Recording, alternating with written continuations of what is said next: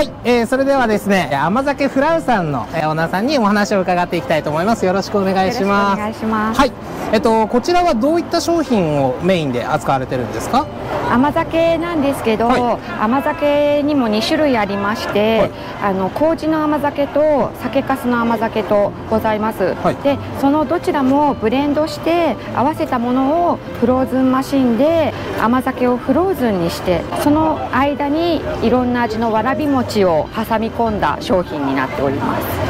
はい。なんか甘酒って聞くと、はい、子供の頃ちょっと酔っ払っちゃったような感じはあるんですけど、はい、大丈夫なんですか？アルコールの方はもう酒粕の方はグツグツに煮て完全に煮飛ばしてしまってるのでアルコールは飛んでてなおかつ酒粕の風味は残ってる感じですね。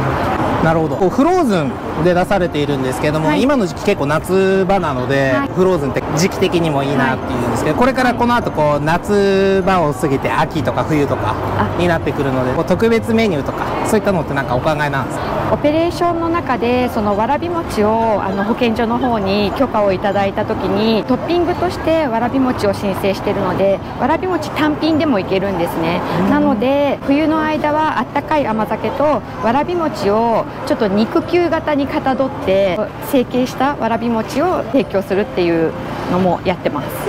映え効果ってことですね。肉球の、はい、肉球の。形で、えー、はい、実際今日とかも雨とかあいにくの天候ではあるんですけれども、はい、普段キッチンカーをされていて、雨の日に工夫していることとか何かあったりするんですかね？どうしても雨に弱いので、うん、なんか休んじゃうことの方が 正直 多いんですけど気持ちトッピング多めにしたりとかなんかそんな感じでおまけ的なことはやったりしてますね。はい、普段こうご出店されている場所っていうのはメインはどちらで？うんと自宅か自宅でやってるんですけどもうあの自宅にこうピンポンの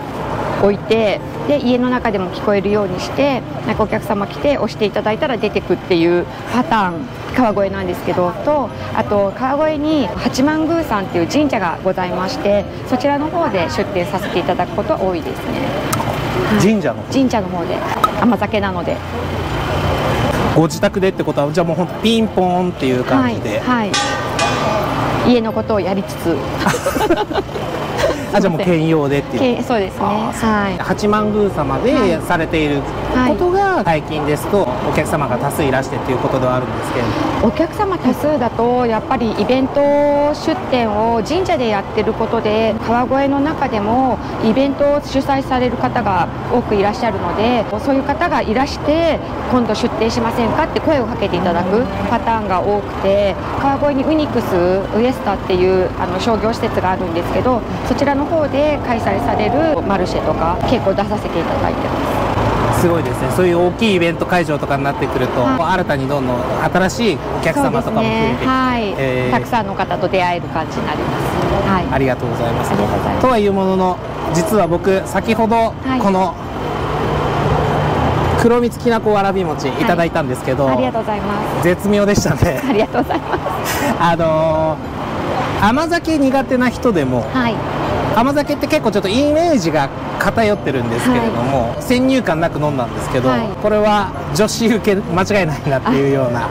まあ、男性の方も、うん、はい。あの若い方でも甘酒苦手っておっしゃる方すごく多いんですけどまあ騙されたと思ってってちょっと進めてみるとやっぱり本当に騙されたわと、